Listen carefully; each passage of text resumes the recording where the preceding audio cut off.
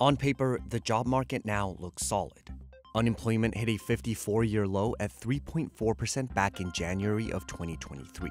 And US employers added 2.7 million people to the payroll in 2023 alone. The January jobs report also showed the 2024 labor market was off to a solid start. When we look at the hard data, it seems to suggest that the labor market has been fairly strong and, in fact, surprisingly resilient, especially after 2023, where we had headlines about layoffs and forecasts of recession. But when you look at the soft data, Americans tend to be a little bit less optimistic about how the economy is doing, and in particular about uh, the job market. Politicians just talking about how the economy is so great. I just want to scream from the rooftops. then how come no one can find a job? Recently, unemployed full time workers applied to an average of 30 jobs, only to receive an average of four callbacks or responses. If you look at the job vacancies, they're down a little bit, but not down enormously. But if you ask, you know, how hard are you working to fill them? Uh, the answer seems to be not very right now. So, why does it feel so hard to get a job right now? And is the US labor market as strong as it seems? Hi, my name is Jenna Jackson.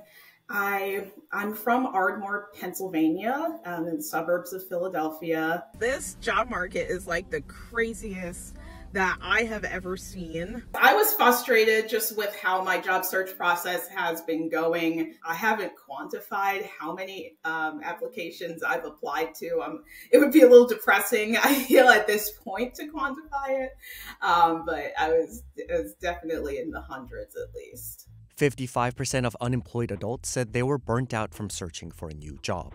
Younger generations were impacted the most with 66% complaining of burnout stemming from job search. Looking for a job can be a full time job. There's a lot that goes into it. Filling out applications online can be tedious and can be time consuming and can be really stressful. Every day just feels like Groundhog Day. You're waking up doing the same thing. When I looked at the data, if you just applied to a job through a job board, the odds of you getting hired were about 3%. So you got to apply to a lot of different jobs in order to have a chance to get them. And you're going to get lots and lots of just no responses. And it's exhausting if, if you do that.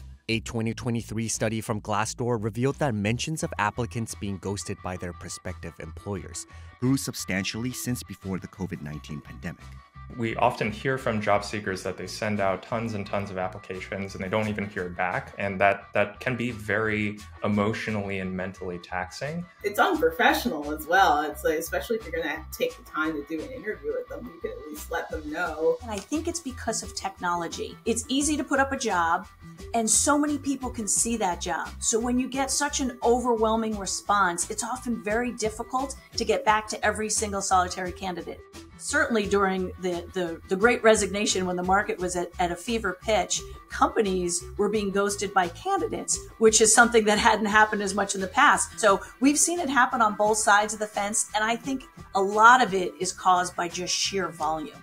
The time it takes for a company to hire an employee also hit an all time high, at an average of 44 days during the first quarter of 2023 with some industries like the energy and defense sector taking more than 67 days for hire.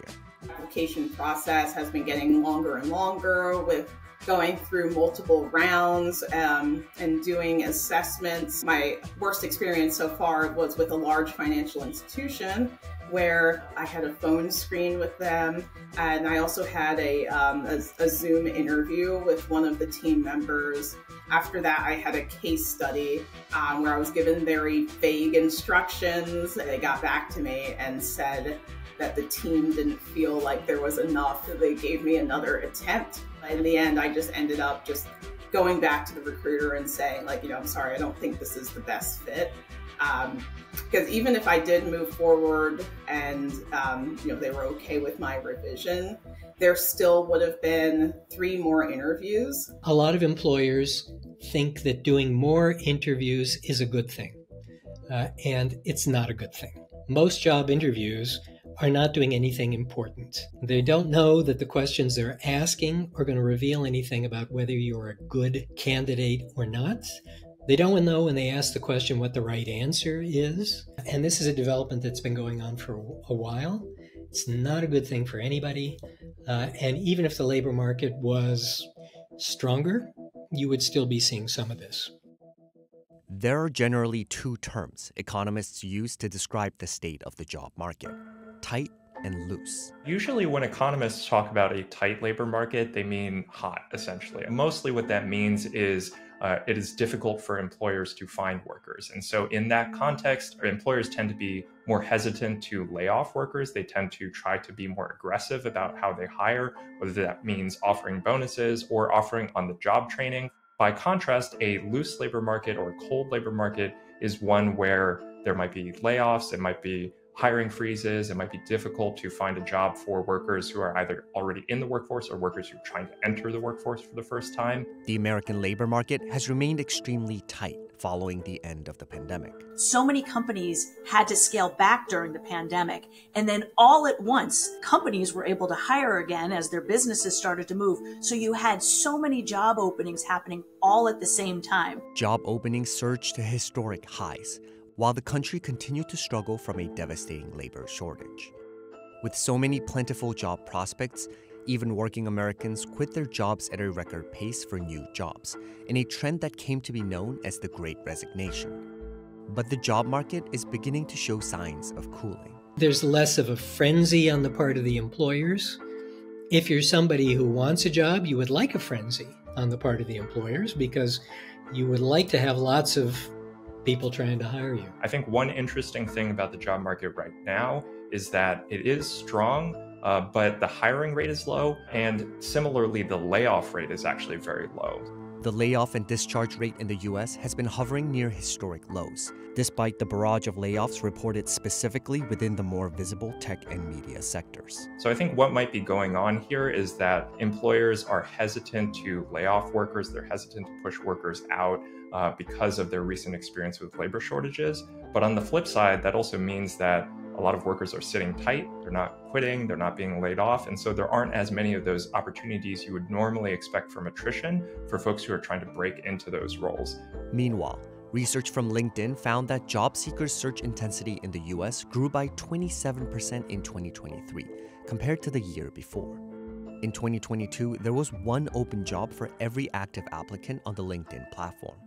By 2023, the ratio turned to one job for every two active applicants.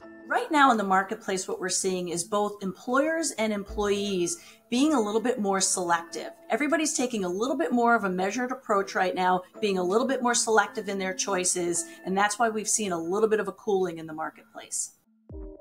However, experts reassure that the cooling labor market is no reason for concern yet it is important to have a perspective that's a little more historical on this. You know, if you're hunting for a job right now and you can't find one, it looks like a lousy job market to you. But compared to your parents' experience, it's a great job market. I think that sentiment is outcomes minus expectations. So in 2021, 2022, uh, there were labor shortages, companies were hiring very aggressively. And so even if 2024 is shaping up to be a relatively healthy labor market, by recent comparison, it doesn't feel quite as strong. A cool down in the labor market was also what the Federal Reserve had intended with its series of interest rate hikes. If you are the Federal Reserve and you want to slow the economy down. That means you want to slow the markets down a bit. The biggest market is the labor market. You know, if you look at what employers do, where their budget is, it's mainly going to labor. So you can't easily cool the economy down unless you cool the labor market down. Experts also noted that the health of the labor market will largely rely on where the economy is headed next. If the economy does slow down, more significantly in 2024. If we see a recession in 2024, uh, the labor market can be somewhat resilient, but it can't fully uh, buck the, the broader economic trends. And so that's definitely something uh, we want we want to watch out for in 2024. It's it's not a guarantee that the job market is going to remain as strong broadly speaking, we might have some optimism about the economy. Uh, that doesn't necessarily mean that the job search is an easy process. I guess the big thing I would say is it's not you. you know, it's not you. It's happening to thousands of other hundreds of thousands of people at the same time. And it has to do with what's going on in the bigger economy, it has to do with uncertainty, but it also has to do with a lot of quirkiness inside employers about how they handle hiring these days. It's definitely um, difficult out there, but you know, I just encourage you not to give up and um, still keep diving into your into your network and stay tight with family and friends, um, just to give you you know the emotional support um, you know that you might be lacking at the moment, and um, to give you that that confidence that that you can do it